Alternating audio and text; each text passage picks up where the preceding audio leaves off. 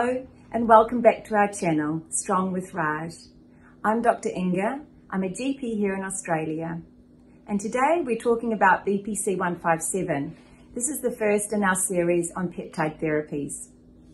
But before we begin, if you're enjoying our content, please consider subscribing to our channel and hitting the like button to support us. I'd like to begin by reminding our audience that this video is purely for entertainment purposes only.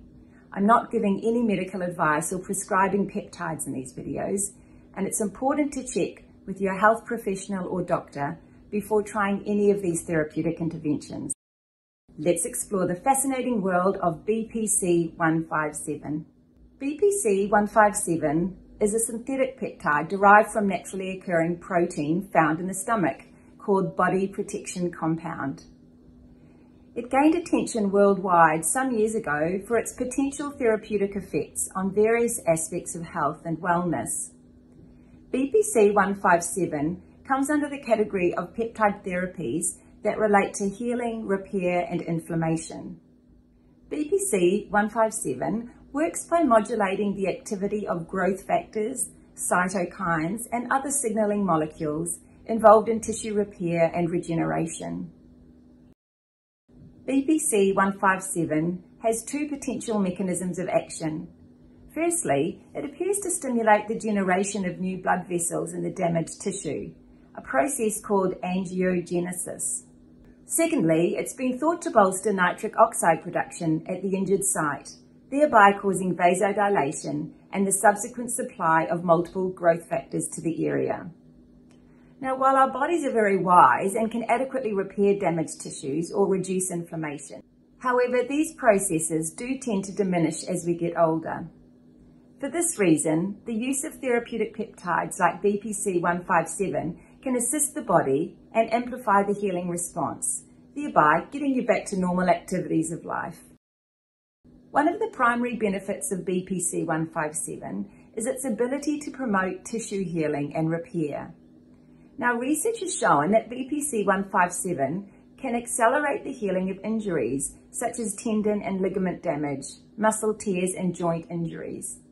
Additionally, it may have anti-inflammatory effects, particularly when it occurs within the gastrointestinal tract, thereby improving conditions such as peptic ulcers or colitis.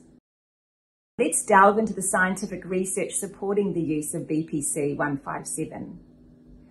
While there is a vast array of small animal studies looking at the use of BPC 157 in musculoskeletal injuries, especially tendon and ligament damage, there have actually been very few human studies. Nonetheless, the anecdotal evidence from patients around the world unanimously find that the benefits of BPC 157 are overwhelmingly positive. There was one study published in the Journal of Orthopaedic Research from 2019 that found BPC 157 to promote the healing of Achilles tendon injuries in rats, leading to improved tendon strength and function. Another study published in the Journal of Orthopaedic Surgery and Research examined the effects of BPC 157 on muscle regeneration in rats with muscle injuries. The results showed that BPC 157 treatment significantly increased muscle fiber size and strength suggesting its potential as a therapy for muscle injuries and degenerative conditions. In the journal Cell Tissue Research from March 2019, the authors noted that BPC 157 had a clear role in accelerating soft tissue healing, both in vivo and in vitro models. But check out the details in the link below if you want more detail about these research studies. So who can use BPC 157? BPC 157 has been shown to have very few side effects, probably because it's a relatively small protein. In fact, it's a peptide made up of less than 20 amino acids, so it can be used by most adults. However, it wouldn't be prescribed obviously to children, pregnant women, or those breastfeeding. How does one use BPC 157? This peptide can be administered in two ways, either orally in a capsule form or by a subcutaneous injection. Many patients report the injection form to be much more effective and rapid in terms of their musculoskeletal healing and repair.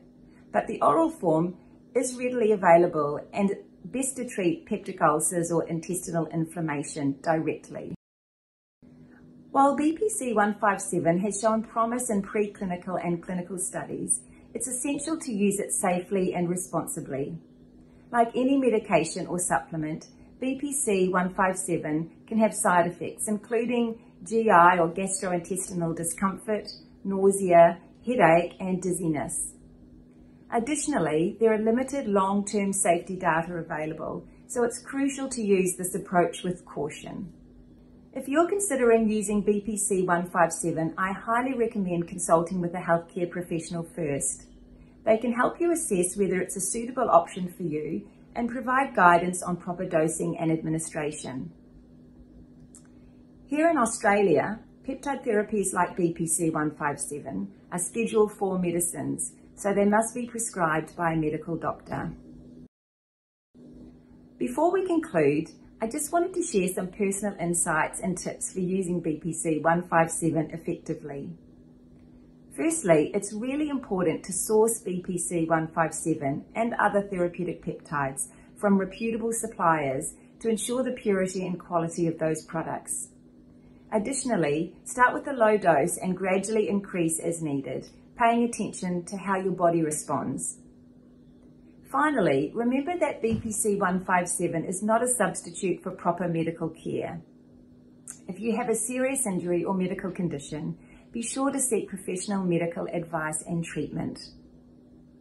Now, if you want to know more about therapeutic peptides in general, check out our full-length video by clicking on the link here. In conclusion, BPC 157 is a promising peptide with potential benefits for tissue healing, injury recovery, and overall health. While it may offer advantages for individuals dealing with injuries or degenerative conditions, it's crucial to use it safely and responsibly. Thank you for joining me today. If you found this video helpful, please consider giving it a thumbs up and subscribing to our channel for more informative content.